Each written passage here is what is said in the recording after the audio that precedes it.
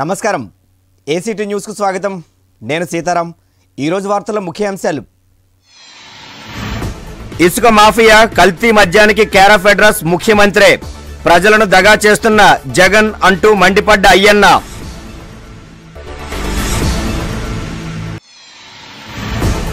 విశాఖ ఉక్కు భూములకు పోస్కోకు కట్టబెట్టొద్దు. పోస్కో వరమ శాపమ?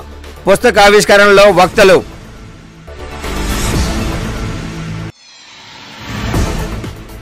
కేంద్ర ప్రభుత్వ విధానాలపై ఉక్కుపాదానికి సిద్ధం. కార్మిక సంఘాలు సమ్మెతో మోడీ మెడలు ఉంచుతామన్న సిపిఎం నేతలు.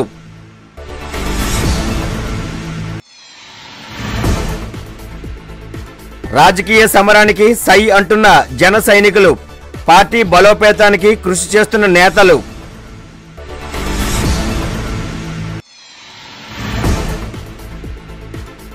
నూతన ఎంవీ చట్టాన్ని రద్దు చేయాలి. రవాణా కార్మిక సంఘం డిమాండ్.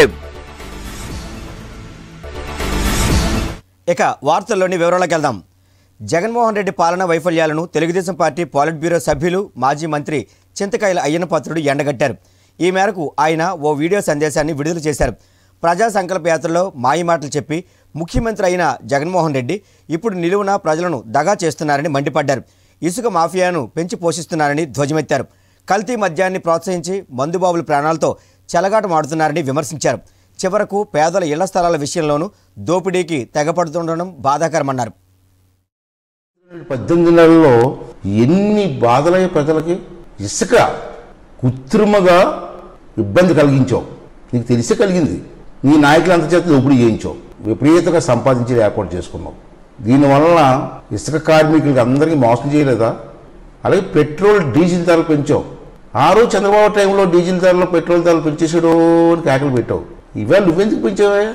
పైగా రోడ్లు వేయడం కోసం పెట్రోల్ మీద మళ్ళీ పెట్రోల్ మీద ఏమో రోడ్డు సెస్ అని వేసావు.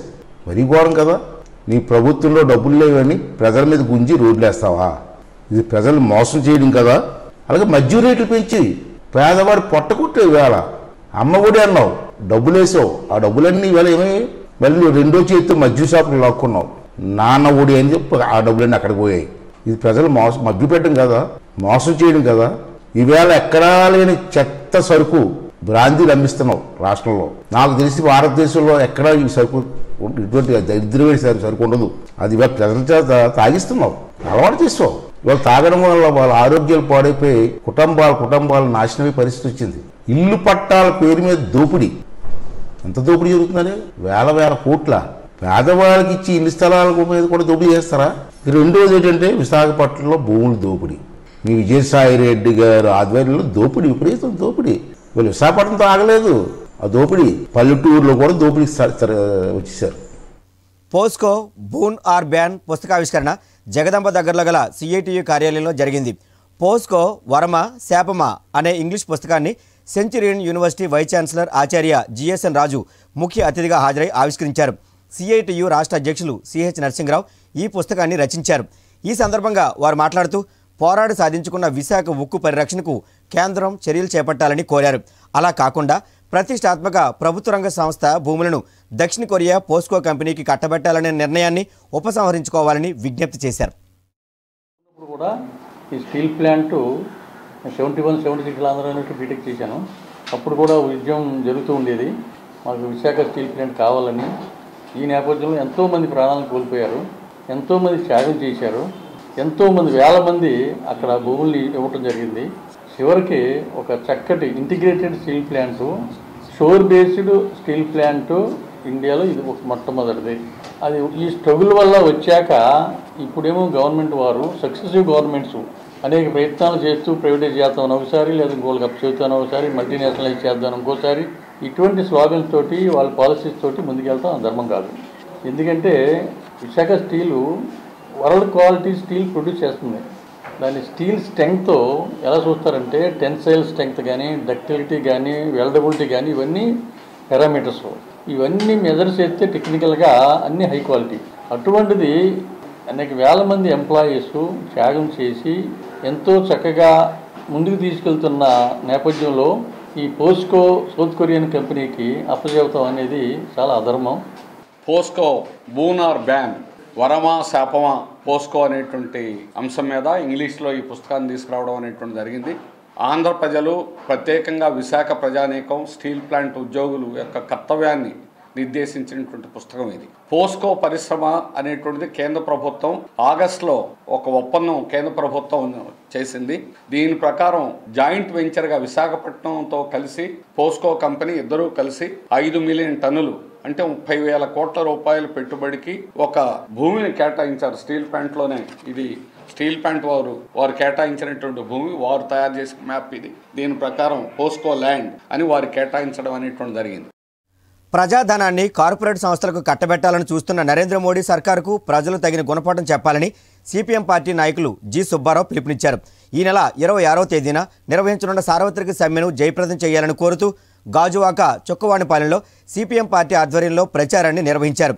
ఈ సందర్భంగా సుబ్బారావు మాట్లాడుతూ కేంద్ర రాష్ట్ర ప్రభుత్వాలు అనుసరిస్తున్న నిరంకుశ విధానాలు సామాన్య మధ్యతరగతి ప్రజల ప్రయోజనాలకు తీరని విఘాతంగా మారుతున్నాయని వాపోయారు.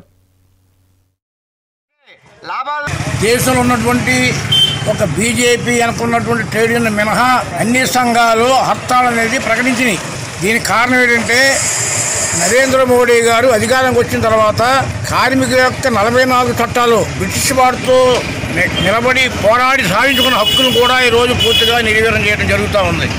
ఈ దేశానికి అన్నం పెట్టేటువంటి వ్యవసాయ చట్టాన్ని కూడా పూర్తిగా అదానికి అంబానికి కట్టబెట్టే దాంట్లో వాళ్ళు చాలా బిజీగా ఉన్నారు. నరేంద్ర మోడీ గారికి కానీ జగన్మోహన్ రెడ్డికి కానీ చంద్రబాబు నాయుడుకి కానీ ఒకటే మేము చెబుతా ఉన్నాం. ఈ రోజు మీరు అధికారం చేతిలో ఉంది కదా అని మీ ఇష్టానుసారం ప్రజల మీద భారాలు మోపి ప్రజల హక్కులు కాలు రాస్తే కార్మికులు ఇవన్నీ విధిస్తే రేపు ఐదు సంవత్సరాల్లో మూడేళ్ళు అయింది రెండు సంవత్సరాల్లో మళ్ళీ ప్రజలు మీకు బుద్ధి చెప్తారు. ఈ ప్రజలు ఈ కార్మికులు ఈ కష్టజీవులు వ్యవసాయ కార్మికులు ఓటు వేయకుండా నువ్వు అధికారం రాలేదు. దీన్ని గమనించి నువ్వు ప్రజలకు మంచి పరిపాలన ఇస్తావని నీకు ఓటేశారు తప్ప ప్రజలని అన్యాయం చేస్తామని ప్రజల హక్కులన్నీ కాలు రాస్తామని అదానికి అమ్మానికి తాకట్టు పెడతామని మాత్రం నీకు అధికారం ఇవ్వలేదు. కాబట్టి మేము చెప్పేది ఒకటే ఈ విధానాలు మార్చుకో. కార్మికులన్నా వాళ్ళు లేకుండా ఈ దేశం మనకు సాధ్యం కాదు. దేశంలో నూటికి తొంభై మంది కష్టజీవులు కార్మికులే. అట్లాంటి కార్మికుల యొక్క శ్రమని ఈ దేశానికి అట్లాంటి కార్మికుల యొక్క ఓటుని నీ అధికారానికి ఉపయోగించుకుని ఇవాళ అన్యాయం చేయడం మాత్రం సరైనది కాదు. ఎప్పటికైనా ఇరవై ఆరో తారీఖు సమ్మెతోటైనా ముద్రించుకుని రేపు రాబోయే కాలంలో నీ విధానం మార్చుకోకపోతే నీకు భవిష్యత్తులో గోరీ కట్టడం ఖాయం. కాబట్టి రానున్న స్థానిక సంస్థల ఎన్నికలు దృష్టిలో పెట్టుకుని పలు రాజకీయ పార్టీల నాయకులు పార్టీ బలోపేతానికి కృషి చేస్తున్నారు. ఇప్పటికే భారతీయ జనతా పార్టీ క్షేత్రస్థాయిలో శిక్షణ తరగతులు నిర్వహిస్తోంది. ఇప్పుడు జనసేన పార్టీ కూడా పార్టీ పటిష్టతకు విస్తృతంగా కృషి చేస్తోంది. జనసేన పార్టీ నాయకురాలు పసుపులెట్టి ఉషా కిరణ్ జన సైనికులతో నగరంలో ఓ ప్రైవేటు హోటల్లో సమావేశాన్ని నిర్వహించారు. కార్యకర్తలకు పలు సూచనలు సలహాలు అందించారు.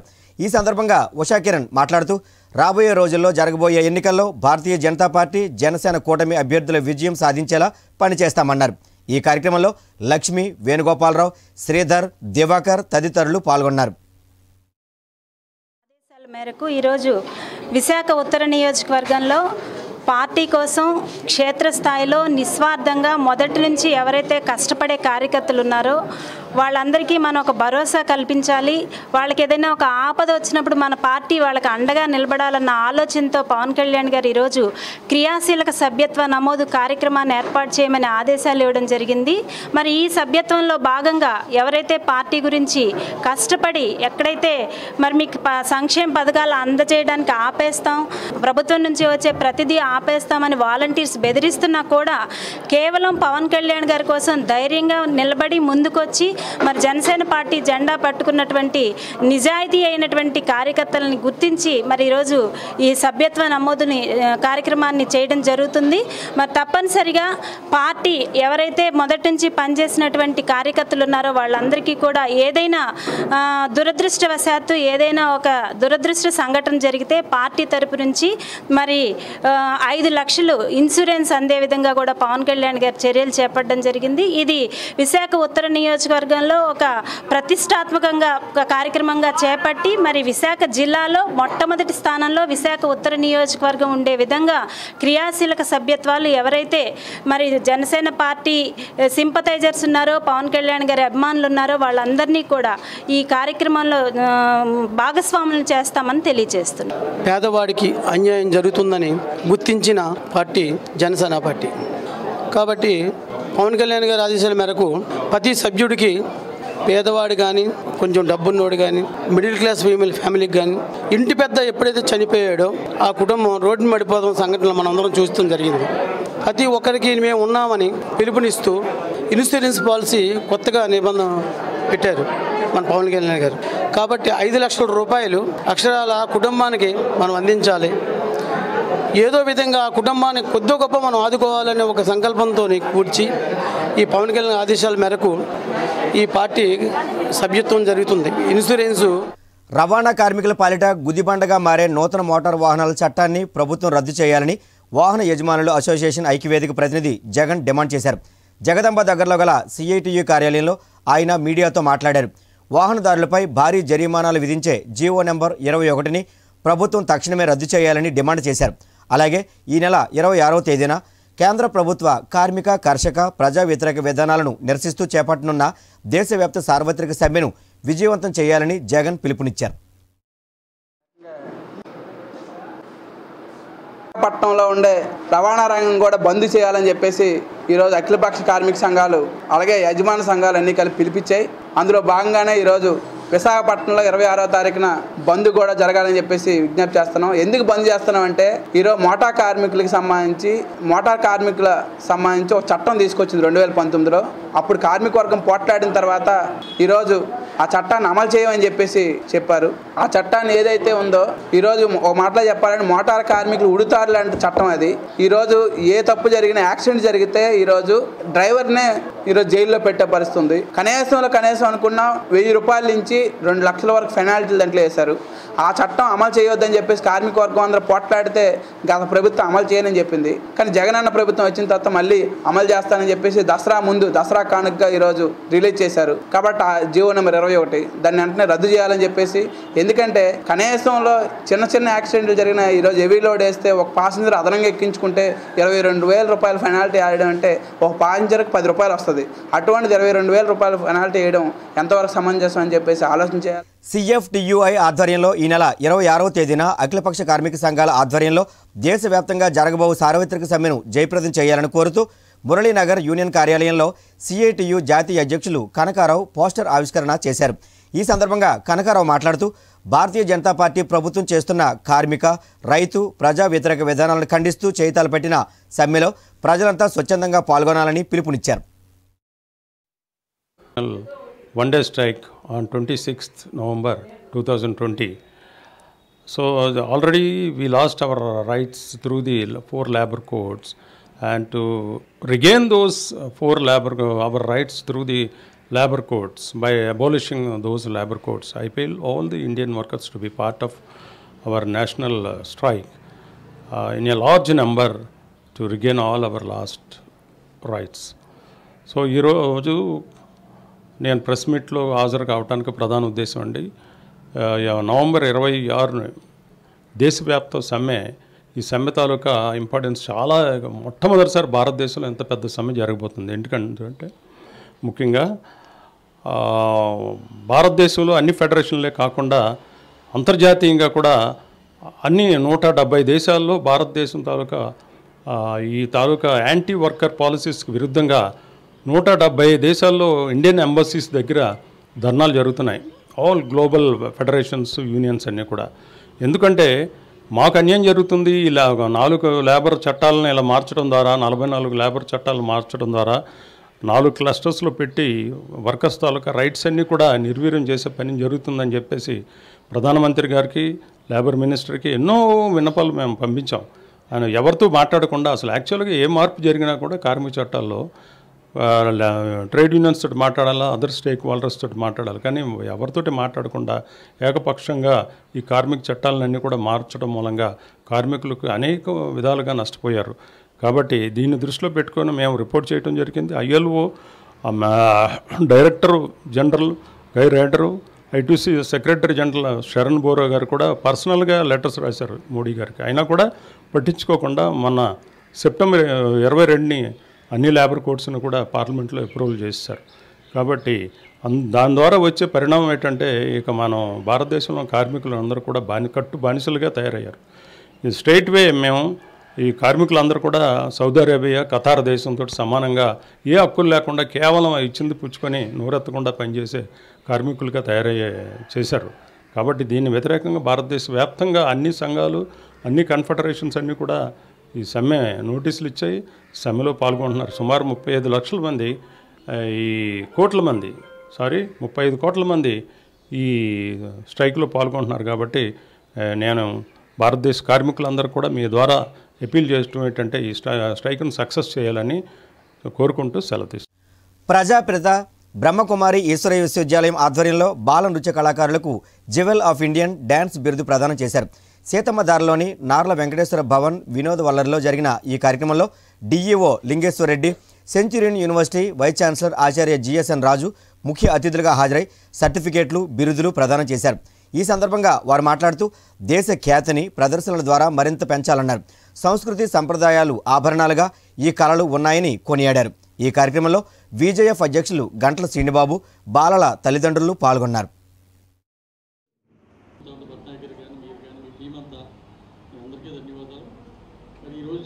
మరి పిల్లలు నిజంగా చూస్తున్నాం అద్భుతమైనటువంటి కార్యక్రమాలు చేస్తూ ఆ, విశాఖపట్నం జిల్లాని మరి ప్రపంచ పటంలో నిలపడానికి పిల్లలు చేస్తున్న ప్రయత్నము మనం నిజంగా అభినందించదగ్గ విషయం. ఈ పిల్లలు మరింత ఉన్నత స్థాయికి ఎదగాలని ఆశిస్తూ వాళ్ళను ఆశీర్వదిస్తూ ముగిస్తున్నాను. థ్యాంక్ యూ ఎంఏలో సోషల్ చక్కగా కంప్లీట్ చేసి ఫస్ట్ క్లాస్లో ఉత్తీర్ణులయ్యి మరి అతి కొద్ది కాలంలో వారు అందులో పిహెచ్డీ కూడా అందుకోబోతారు. తప్పకుండా వారికి ఉన్న ప్యాషన్ మెచ్చుకోవాలి. ఆయన ఇక్కడ బీరో చీఫ్గా ఉండి బోర్డు పని ఉంటుంది. అయినప్పటికీ ఆయన చదువు మీద ధ్యాస ఉండి ఈ వయసులో కూడా యూనివర్సిటీకి వెళ్ళి రెగ్యులర్గా ఉండి చక్కగా జీవీఎంసీ ఎనభై తొమ్మిదో వార్డు పరిధి సంతోష్ నగర్లో మంచినీటి బోరును వార్డు వైకాపా అధ్యక్షుడు అభ్యర్థి దొడ్డి కిరణ్ ప్రారంభించారు. వార్డులో ఉన్న సమస్యల పరిష్కారానికి జిల్లా మంత్రి ముత్తంశెట్టి శ్రీనివాసరావు పార్లమెంట్ సభ్యులు విజయసాయిరెడ్డి పశ్చిమ నియోజకవర్గం ఇన్ఛార్జ్ మల్ల విజయప్రసాద్ల సహకారంతో తన వంతు కృషి చేస్తున్నట్లు గుర్తు చేశారు. బోరు అందుబాటులోకి రావడంతో ఈ ప్రాంత వాసులు మంచినీటి కష్టాలు తీరుతాయన్నారు. ఈ కార్యక్రమంలో సంతోష్ నగర్ వెల్ఫేర్ అసోసియేషన్ ప్రతినిధులు వైసీపీ నాయకులు పాల్గొన్నారు.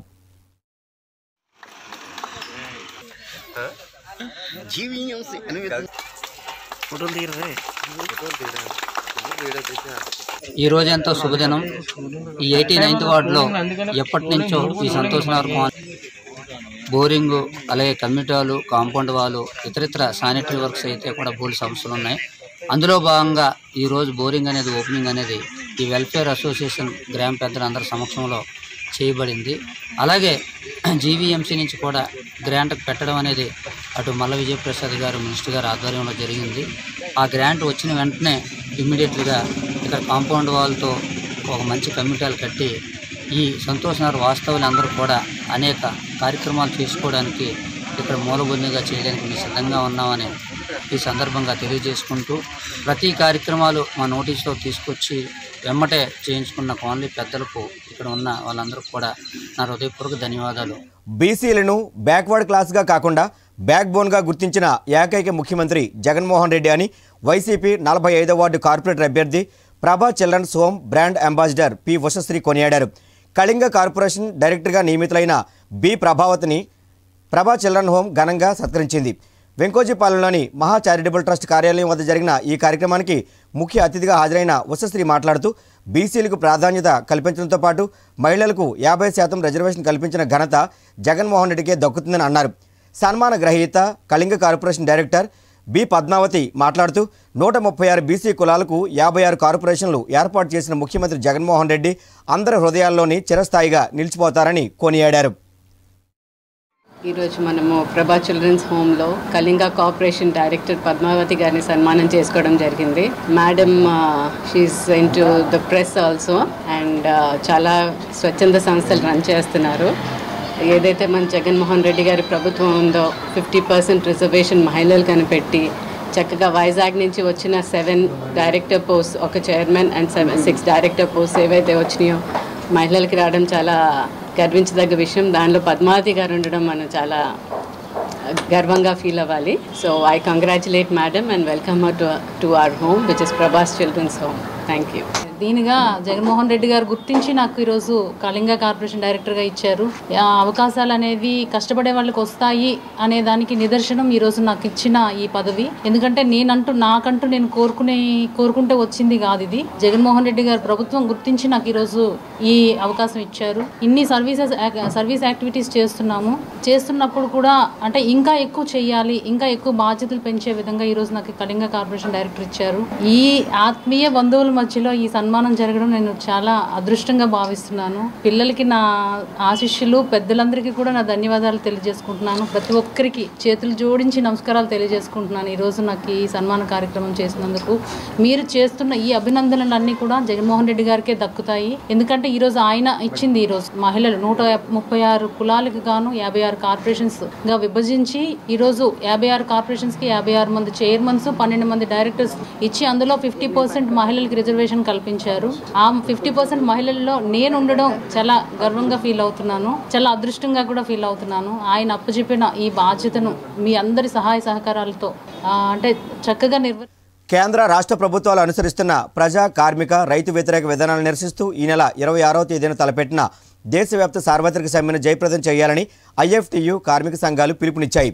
పెందుర్తి అంబేద్కర్ కాలనీలో జరిగిన కార్యక్రమంలో సమ్మె పోస్టర్ను కార్మిక సంఘ నేతలు ఆవిష్కరించారు. ఈ సందర్భంగా ఐఎఫ్టీయు నేతలు లక్ష్మీనారాయణ తిరుపతిరావులు మాట్లాడుతూ ప్రభుత్వ రంగ సంస్థలను కేంద్ర ప్రభుత్వం నిర్వీర్యం చేస్తోందని మండిపడ్డారు. ధరల పెరుగుదలతో ప్రజలపై భారం పడుతోందని ఆవేదన వ్యక్తం చేశారు. కార్మికుల హక్కులను కాలరాస్తున్నారని మండిపడ్డారు. కార్పొరేట్ శక్తులకు దోచిపెట్టేందుకే ప్రభుత్వాలు పనిచేస్తున్నాయని విమర్శించారు. సమ్మెను జయప్రదం చేసి ప్రభుత్వాలకు కార్మిక వాణిని గట్టిగా వినిపించాలని పిలుపునిచ్చారు. ఈ కార్యక్రమంలో పీఓడబ్ల్యూ సంఘ ప్రతినిధులు ఇందిర గీత రూప సంఘ సభ్యులు పాల్గొన్నారు. నుండి మార్పిడి జరిగిన తర్వాత పంతొమ్మిది వందల యాభై ఆరు వరకు కొన్ని చట్టాలను అనుసరిస్తూ వాటినే మళ్ళీ తిరగరాస్తూ కార్మికులు ద్రోహం చేసిన క్రమంలో పంతొమ్మిది వందల యాభై ఆరు నుంచి తొంభై రెండు వరకు కూడా ఎలా కొనసాగుతుంది? మోదీ ప్రభుత్వం వచ్చిన దగ్గర నుంచి రెండు వేల పద్నాలుగు వరకు వాటిలో కొన్ని భాగం అనుస అనుకరించారు. తర్వాత నుంచి నలభై నాలుగు చట్టాలని నాలుగు చట్టాలుగా చేస్తూ కార్మికులందరికీ అన్ని రంగాల్లో ఉన్న కార్మికులకు కూడా ఇబ్బందులు పెడుతూ కార్మిక చట్టాలను తొంగలో తొక్కారు. ఒక కార్మికులకే కాదు వ్యవసాయం విద్య అన్ని రంగాల్లోనూ కూడా ప్రభుత్వ రంగాలను కూడా ప్రైవేటు పరం చేస్తూ మోదీ ప్రభుత్వం దారుణంగా ప్రజల్ని దెబ్బతీస్తూ చాలా ఇబ్బందులు పాలు చేస్తుంది. ఈ సమ్మెలో భాగంగా కార్మికుల తరపున మోదీ ప్రభుత్వానికి అలాగే జగన్ ప్రభుత్వానికి ఒక హెచ్చరిక జారీ చేయాలని కార్మిక సంఘాలుగా అన్నింటికి ప్ర- తెలియజేస్తూ ఐఎఫ్టీగా మేము డిమాండ్ చేస్తున్నాం. ఈ భారతదేశంలో ఉన్న నూట ముప్పై కోట్ల మంది ప్రజలు కూడా తిండి లేక అల్లాడుతుంటే ఈ కార్పొరేట్ సంస్థలకి ఈ మోడీసా ప్రభుత్వం అనేది పూర్తిగా ఒడుగుం చేస్తుంది. ముఖ్యంగా ఏవైతే ఉన్నాయో ప్రభుత్వ రంగ సంస్థలన్నింటినీ కూడా ప్రైవేట్ పరం చేస్తూ వాళ్ళ యొక్క ఎంతమంది అయితే ఉద్యోగులు ఉన్నారో వాళ్ళందరికీ కూడా నోట్ నోటి దగ్గర తిండి లాగేస్తున్నాయి. పూర్తిగా కూడా కార్మిక చట్టాలన్నీ కూడా తొంగలో తొక్కేసి నాలుగు లేబర్ కోడ్లుగా మార్చి వాటిని కూడా అవి దేనికి పనిచేయవు అవి దేనికి పనిచేయని చట్టాలు? ఇప్పుడు ఏంటంటే ఈ కార్మిక చట్టాలన్నీ కాపాడుకోవాల్సిన బాధ్యత ఈ యొక్క కార్మికుల మీద ఎంతైనా ఉంది. అవి కార్మికులే కాదు ప్రతి ఒక్కరు కూడా ప్రతి ఒక్క భారతీయుడు కూడా ఈ యొక్క దేశవ్యాప్త సమ్మెను విజయవంతం చేయాలని మేము ఐఎఫ్టియూ తరఫున అందరినీ భారత రాజ్యాంగ దినోత్సవం సందర్భంగా భీమ్సేన విశాఖ స్త్రీ విమోచన సేవా సంఘాల సంయుక్త ఆధ్వర్యంలో బీచ్ రోడ్లో రన్ ఫర్ అంబేద్కర్ కార్యక్రమం నిర్వహించారు. అంబేద్కర్ జోహార్ రాజ్యాంగ ఫలాలు అందరికీ అందాలి అంటూ నినదించారు.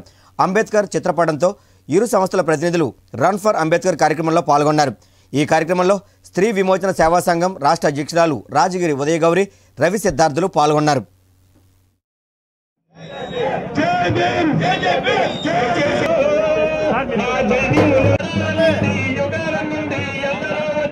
దళిత కులాల సంక్షేమ సేవా సంఘం ఆధ్వర్యంలో అంబేద్కర్ భవన్లో అంబేద్కర్ చైతన్య రథాలను ప్రారంభించారు. ఈ సందర్భంగా డీకేఎస్ఎస్ నగర శాఖ అధ్యక్షుడు విశ్వేశ్వరరావు మాట్లాడుతూ నవంబర్ ఇరవై ఆరవ తేదీన రాజ్యాంగ దినోత్సవం సందర్భంగా జిల్లాలో అన్ని గ్రామాల్లో పర్యటించి అంబేద్కర్ ఆలోచనలు సామాజిక న్యాయాన్ని ప్రచారం చేసేందుకు సిద్ధం చేసినట్లు చెప్పారు. డీకేఎస్ఎస్ జిల్లా అధ్యక్షులు పతివాడ రాంబాబు ఆధ్వర్యంలో జరిగిన ఈ కార్యక్రమంలో జేవి ప్రభాకర్ వెంకటరమణ తదితరులు పాల్గొన్నారు. ఈరోజు ప్రారంభోత్సవం ఒక ముఖ్య ఉద్దేశం ఏంటంటే గ్రామ గ్రామానికి కూడా అంబేద్కర్ ఐడియాలజీని ప్రచారం చేయాలి వాళ్ళకి మళ్ళీ రీప్లేస్ చేయాలి ఐడియాలజీని. అతని యొక్క జీవ చరిత్రని దృశ్య రూపంలో చూపించాలనే ఉద్దేశంతో జిల్లా అధ్యక్షుల వారు పతివాడ రాంబాబు గారు స్వయ వ్యయంతో ఆయన ఈ రథాలని ప్రారంభించడం జరిగింది ఈరోజు. At the same time bike rally ఇరవై ఆరు రాజ్యాంగ దినోత్సవం సందర్భంగా బైక్ ర్యాలీ నిర్వహిస్తారనేసి ఐక్య దళిత ఐక్య సంఘాల ప్రతినిధులందరూ కూడా అత్యధికంగా పాల్గొని ఐక్యత దళితుల ఐక్యత చాటుతూ జ ర్యాలీని జయప్రదం చేస్తారనేసి మేము ద డీకేఎస్ఎస్ తరఫున కోరుకుంటున్నాము. అట్ ద సేమ్ టైం ఏంటంటే బాబాసాహెబ్ అంబేద్కర్ ఈ దేశానికి రిజర్వేషన్లు ఇచ్చారన్న విషయాన్ని బీసీ ఎస్టీ ఎస్టీ మైనారిటీ వర్గాలు మర్చిపోతున్నాయి. మర్చిపోయి ఈ యొక్క పోరాటాలకి వెనుకడుగు వేస్తున్న తరుణంలో ఈ దళిత సంఘాలన్నీ కూడా మరలా ఇది పునరావృతం పునరావృతం అయ్యి ఈ ఒక ఐడియాలజీని రీప్లేస్ చేయాలనే ఉద్దేశంతో దళిత భారత రాజ్యాంగ దినోత్సవం సందర్భంగా ఈ నెల ఇరవై ఆరో తేదీన Jai Bhim cultural association Rama talkies Ambedkar భవన్లో రక్తదాన శిబిరం నిర్వహించనుంది. ఈ శిబిరాన్ని కేజీహెచ్ మాజీ superintendent doctor G Arjuna DCP Suresh బాబులు ప్రారంభిస్తారు. ఆయా వివరాలను జై భీమ్ కల్చరల్ అసోసియేషన్ ప్రతినిధులు అంబేద్కర్ భవన్లో ఏర్పాటు చేసిన మీడియా సమావేశంలో వెల్లడించారు.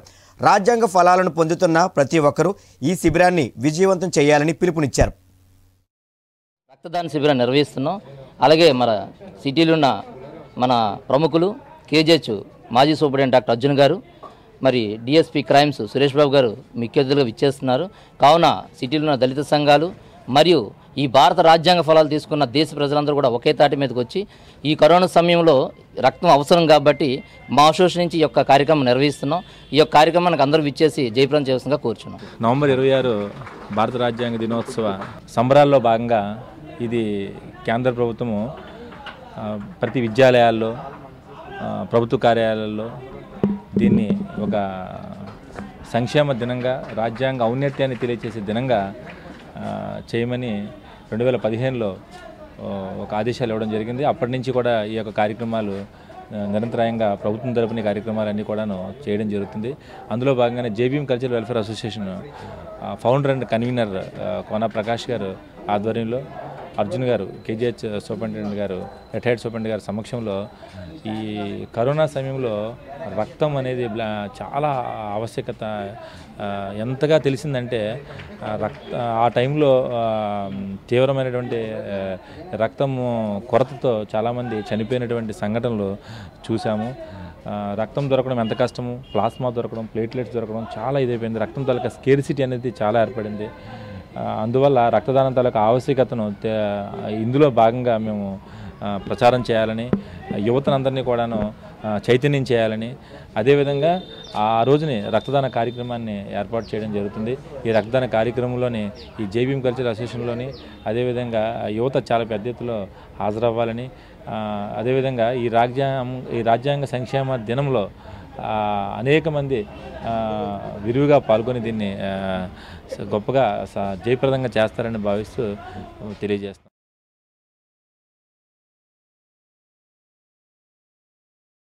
ఏసీటీ న్యూస్ ముగించే ముందు ముఖ్య అంశాలు మరోసారి.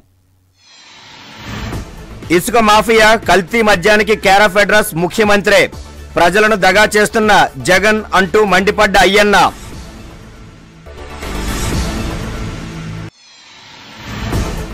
విశాఖ ఉక్కు భూములకు పోస్కోకు కట్టబెట్టొద్దు. పోస్కో వరమ శాపమ?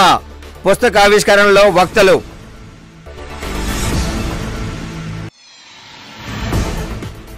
కేంద్ర ప్రభుత్వ విధానాలపై ఉక్కుపాదానికి సిద్ధం.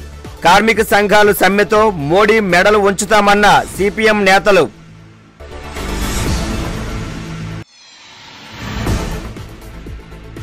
రాజకీయ సమరానికి సై అంటున్న జన సైనికులు పార్టీ బలోపేతానికి కృషి చేస్తున్న నేతలు.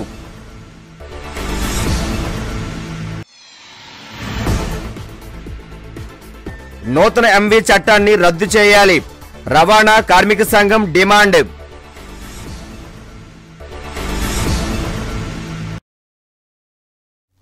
ఏసీటీ న్యూస్ ఇంతటితో సమాప్తం. నమస్కారం.